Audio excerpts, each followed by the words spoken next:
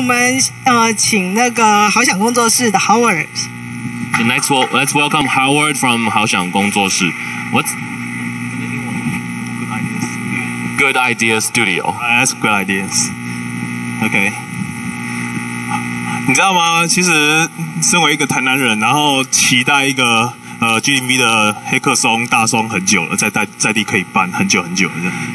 Do you know, as a Taiwan, as a Tainan person, we've looked forward for a GovZero event in Tainan for a very long time now.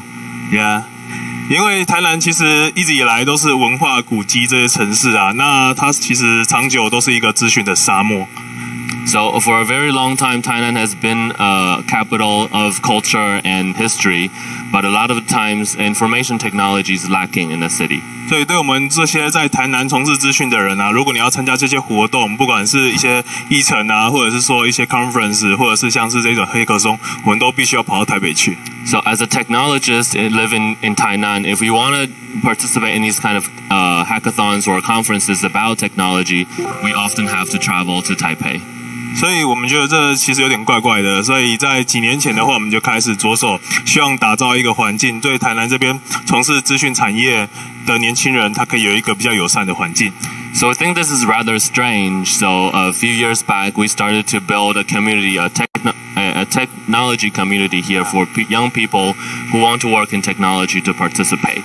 对，我们从免费的城市教育，然后聚聚集自己的那个资讯人才，然后还有创造自己的社群，最后对接产业。 Um, we wait one at a time. A free training, we do the free training, yeah, and uh, own our own community, and uh, we collect the people, the kind of people in our space, and uh, we will connect to the industry. Yes, that.